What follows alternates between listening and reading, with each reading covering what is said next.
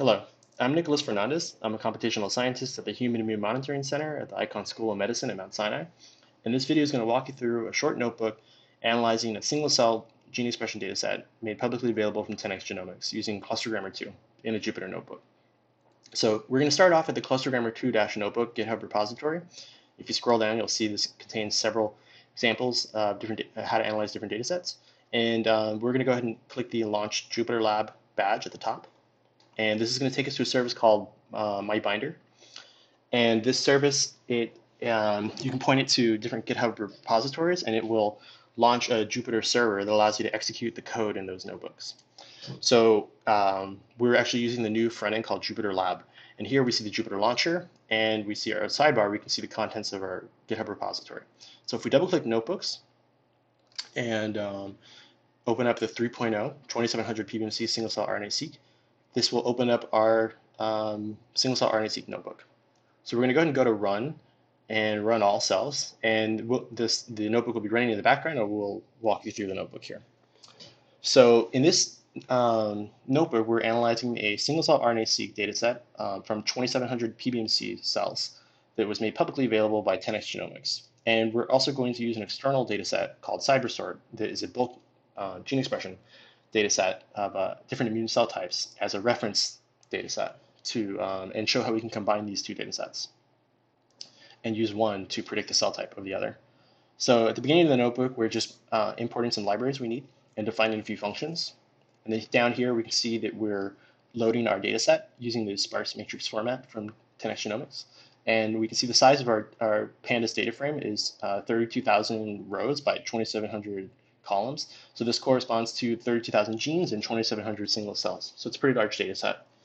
Uh, and very high dimensional uh, in the sense that you have 2,700 samples and 32,000 dimensions. It's very, very high dimensional data. So first thing we're going to do is just drop some gene types that we're not particularly interested in. So we're removing the ribosomal mitochondrial genes. And then we're going to be filtering for the top expressing and most variable genes here. And then we're going to perform some normalization such that each cell has the same UMI count.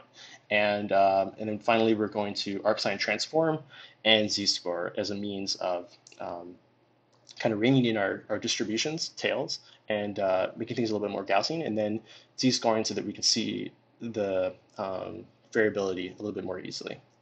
So now, after we've done all that processing, we're loading our data frame into Clustergrammer, and we're producing the widget using this method here, uh, net.widget. So now we can see the interactive heat map of our data. And this is uh, this heat map is showing you 2,700 cells as columns, and um, the top 250 variable genes as rows.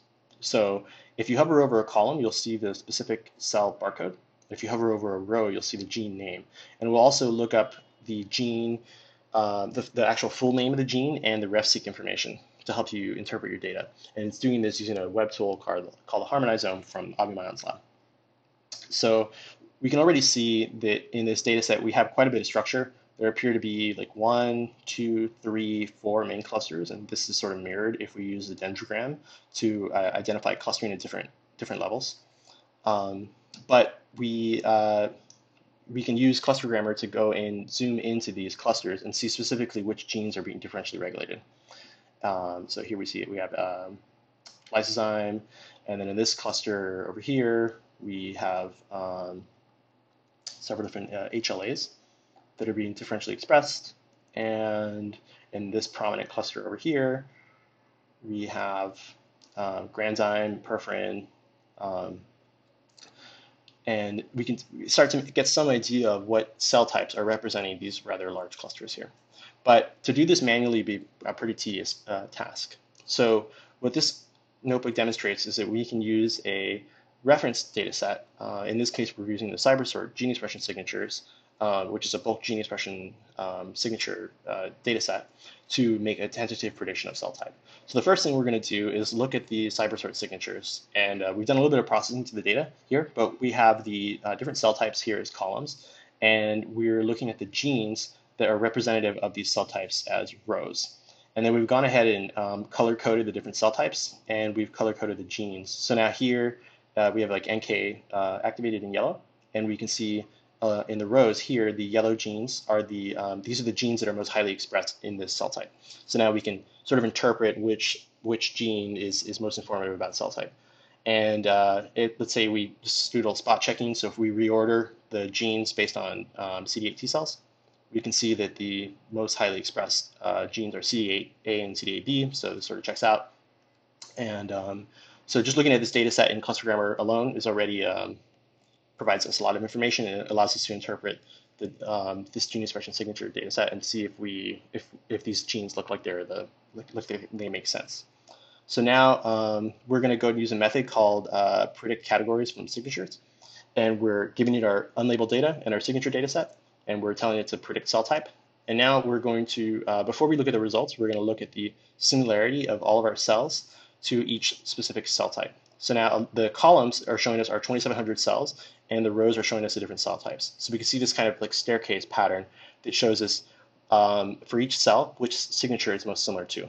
So for instance, we can see that um, the two different types of B cells, so B cell naive and B cell uh, B cell memory, are um, have pretty similar signatures, and it doesn't do a, a, very good job of uh, distinguishing those two different cell types because they have pretty similar gene expression, uh, according to CIBERSORT. So now we're going to look at our cells in the gene expression space of CIBERSORT. So now we can um, we have our 2700 cells here, and now we have cell type predictions for them. So we can see we have B cells here, and then we can see which um, which genes are most different are, are being expressed in these different clusters, and we're labeling them with their their cell type here. So we can see the B cells are being uh, labeled as B cells because they are expressing these sort of purplish genes at a high level. And then finally, we can take these labels of our cell type and transfer them to our original view of our data in a different gene expression space. This time we're looking at the, we're going back to the top 250 variable genes. So if we zoom back, uh, go back here, we can, uh, this was our original view of our data, and now at the bottom of the notebook, we finally have a labeled view of our data.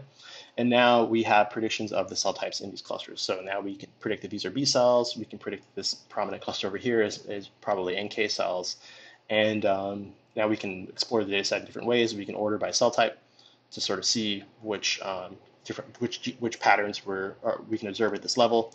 And one interesting thing is that we're actually don't have a very large overlap between the, the top 250 variable genes and the genes from CIBERSORT. So here we can see that uh, if we zoom in here, that these yellow genes, these are the, the CIBERSORT genes that were used to predict cell type.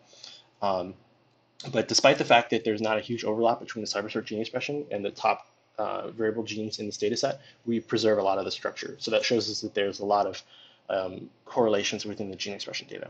And, um, and then we can also use these top reordering buttons to just explore the data at a more general level. So we can rank cells by um, their overall gene expression, and then we can hover over and see particular patterns. So we can see macrophages tend uh, appear to have like high gene expression, and over here we have um, regulatory T cells, which can vary.